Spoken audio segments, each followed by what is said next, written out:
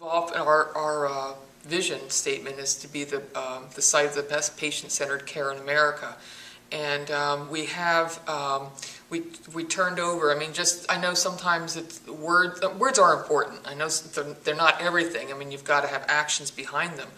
But um, several years ago, we changed, we integrated all of our quality, our safety, our performance improvement, our infection control, all of those departments we uh, consolidated in order to develop new synergies among them, and we call that the Patient Focused Improvement Department. Uh, is the nickname. And that's a department that goes throughout the entire system, and it's not only for hospitals, but it's for clinics, as well as our long-term care facilities and our um, home health care. But that's the Patient-Focused Improvement Department, and uh, with the idea that the patients are definitely the center of everything.